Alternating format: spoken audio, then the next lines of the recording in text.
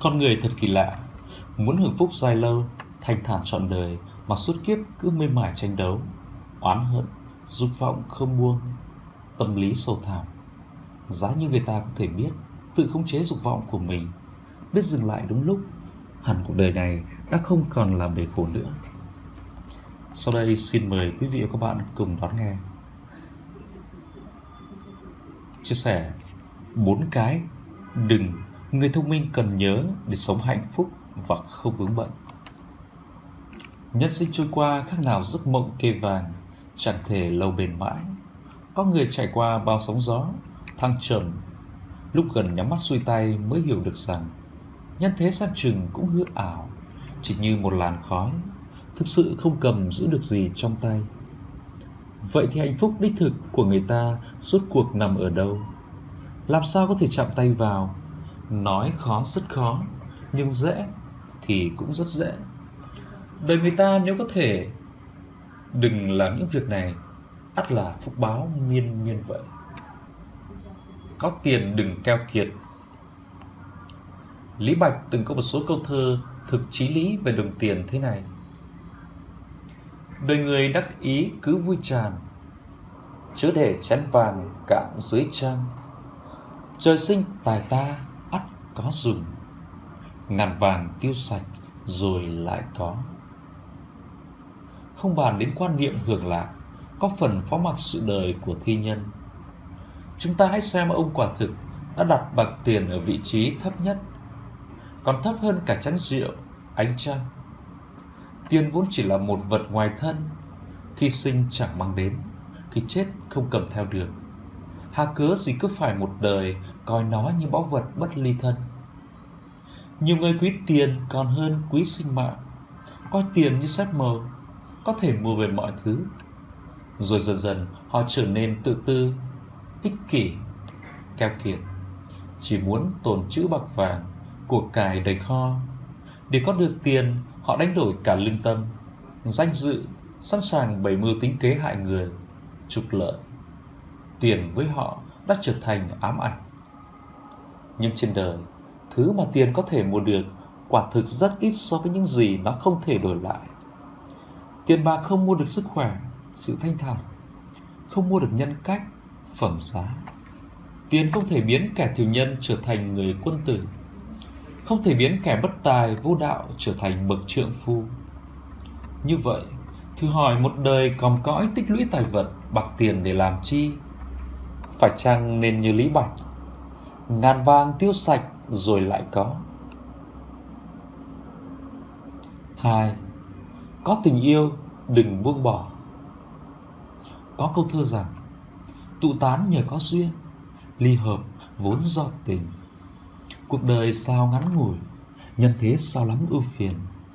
Một tình cảm chân thật lại càng không dễ kiếm.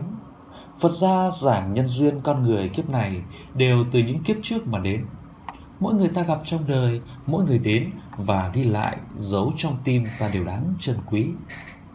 Nhưng thế sự xoay vần, cuộc đời lắm bão rông, tình cảm cũng mong manh như sương mai trong gió, thổi là tan, cầm là vỡ.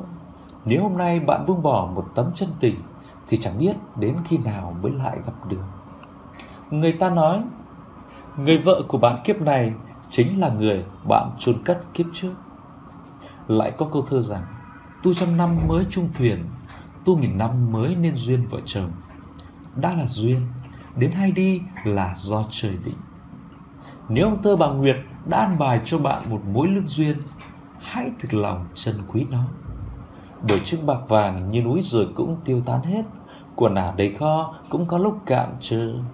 Chỉ có nghĩa tình là còn lưu lại mãi mãi suốt kiếp suốt đời. ba tức giận đừng để trong lòng. Có câu thất phu chịu nhục, tút kiếm tương đấu. Kẻ dũng phu chỉ cậy sức khỏe, gặp chuyện không vừa ý chí thì khí giận ngút trời, nói lời cay đắng. Cuối cùng đến khi xuống cửu tuyền mà lòng vẫn còn ôm một mũi hận không nguôi. Khi cơn nóng giận bất ập trở đến, thường người ta không còn giữ được điềm tĩnh để nó che mờ lý trí, thường hành động theo cảm tính. Có người bột phát ra bên ngoài Nhưng cũng có loại người lòng cứ ôm ấp giữ mãi chuyện thị phi, sống để dạ chết mang đi, quả thực là thống khổ. Như thế, nội tâm của người ta cứ mãi không bình yên. Ngoài mặt là nói cười cười, nhưng trong tâm thì sóng gió như cồn. Người xưa nói, oán hận tích tụ trong lòng mà không khai thông thì sinh ra oán khí, có thể tàn phá lục phủ ngũ tạng, làm người ta suy kiệt. Liều thuốc độc hại mệnh người ta chính là ở đó. Vậy thì từ nay, khi gặp chuyện thống khổ, buồn bã hãy cứ buông xả cho kỳ hết. Chứ lưu giữ làm chi trong cõi lòng. Bạn tích tụ lượng oán khí ấy càng nhiều thì thọ mệnh của bạn càng ít đi. Hãy tìm đến một người bạn để rót bầu tâm sự. Như Lý Bạch ngày xưa, mỗi khi buồn thì tìm đến rượu, coi rượu như bạn quý mà có lúc cũng phải thở than. Rút dao chém nước, nước càng chảy. Dốc chén tiêu sầu, sầu thêm vương. Đời người vốn chẳng như mong, sớm mai xóa tóc bến sông xuôi thuyền. 4. Thu hận đừng ghi nhớ. Người quân tử không biết thù hận mà lấy tất lòng quang đạt mà bảo dùng người khác. Người xưa nói, oan oan tương báo, dĩ hận liên miên. Nghĩa là báo oán lẫn nhau, hận thù cả đời không dứt. Báo thù rửa hận không phải là cách cởi nút hận thù. Chỉ có tha thứ, khoan dung, lấy đức báo oán mới đoạn dứt được mối nghiệt duyên ấy. Mà trên thực tế, người không ghi khắc thù hận trong tâm mới chính là người hạnh phúc nhất. Họ sống một cuộc đời thanh thản, tự tại, ung dung. Vì không muốn báo thù, họ cũng không sợ bị kẻ thù tương báo. Vì biết tha thứ, họ tìm được bến đó bình yên cho tâm hồn, lại tích được phúc báo cho hậu thế. Người xưa nói về đạo lý tam bất thức, để gìn giữ được tuổi trường thọ, chính là không bao giờ lưu tâm đến ba điều. Không quan tâm ân oán, không quan tâm tuổi tác và không quan tâm bệnh tật. Con người hiện đại thuận theo dòng chảy phát triển của xã hội đã có một cuộc sống vật chất đủ đầy, tiện nghi hơn nhưng cũng vì thế mà rước vào mình thêm những buồn muộn. Thân thể mắc bệnh, đến cả tinh thần cũng chẳng lúc nào được yên, là bởi họ cứ một đời đấu tranh ngược xuôi những cách kiếm tiền đến chết không buông. Thực ra, sống hạnh phúc không khó. Cái khó chính là người ta có dám buông bỏ những dục vọng, lợi ích thực tại trước mắt mà làm tròn đầy thêm tinh thần, phẩm cách đạo đức của mình hay không. Bởi vì hạnh phúc đích thực chỉ đến từ sự bình yên trong tâm hồn. Quả là nhân sinh một giấc mơ màng, ai người chi kỷ ôm đàn cùng ta, thơm gì một đóa quỳnh hoa, sâu gì một ngấn lệ xa đôi hàng.